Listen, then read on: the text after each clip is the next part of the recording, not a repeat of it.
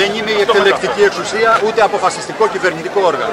Είμαι εκπρόσωπος του Κοινοβουλίου. Ασκούμε το νομοθετικό και Ναι, αλλά κοινοβουλευτικό έλεγχο. μεταφέρετε όμως, μεταφέρετε Ασφαλώς και το έχω το μεταφέρει, κλίμα. το είπα προηγούμενα Μιλάμε για και στους κοινωνική πολίτες. εξαθλίωση, το έχετε Το, καταλάβει. το μετέφερα φύγω. το αίτημα και στους, ε, τι έχω κάνει μέχρι τώρα και στους πολίτες και σε εσάς, τα θεσμικά όργανα της ε, επαρχίας που καλά κάνετε και έχετε ανα, ανυψώσει, αναγορεύσει αυτό το αίτημα Είπα- που το είπαμε- θεωρώ, είπαμε, δεν πάει που το παρακάτω, θεωρώ δεν δίκαιο. πάμε, Δεν πάει. Που το θεωρώ Δηλαδή, δίκαιο. η οριμονή δεν θα είναι φιλική προς οποιοδήποτε προηγούμενη- κοινοβουλευτικό.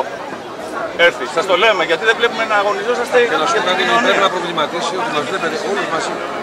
Είμαστε Από όλοι όλους στους τους πολιτικούς πολιτικούς κόμματα. κόμματα. Όλος ο κόσμος Από μαζί. όλους τους πολιτικούς Συγγνώμη, Συγγνώμη, πολιτικές Παπανάκη, παρατάξεις, πολύ είναι πολιτική- Εγώ το στέλνω. Όλοι Εγώ το στέλνω εκεί που Όλοι πρέπει. Πρέπει να το- να το- να το δουν αυτό, το καταλάβουν. Εμείς την Τρίτη έχουμε κλείσει ένα ραντεβού με τον ε, κ. Καλαμαριάνο. Εκεί εκεί θέλουμε τη βοήθεια. 9.30 ώρα το πρωί. Αν μπορείτε να είσαστε, Και βέβαια θα τουλάχιστον μπορέσω να καταθέσετε την Έχω στις 11 άρνησή σας επιτροπή, προς αλλά αυτή την εννοείται θα έρθω 9.30 ώρα. Αυτό είναι, είναι σημαντικό για να Σαφώς. δείξετε ότι διαφωνείτε με την κυβερνητική πολιτική. Σαφώς και ήδη το έχω εκθέσει με, με mail που έστειλα μόλις χθες. Και στον Καλαματιανό και στον Τάσο τον Πετρόπουλο, αλλά σας είπα και στο γραμματέα του κόμματο.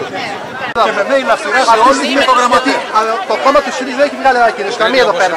Τι σου το λόγο που έχει βγάλει. Γιατί σιωπά το κόμμα του ΣΥΡΙΖΑ. Πρέπει να επιληφθεί η Περιφερειακή Επιτροπή του ΣΥΡΙΖΑ. Εδώ πέρα έγινε φοβερό αυτό το πράγμα.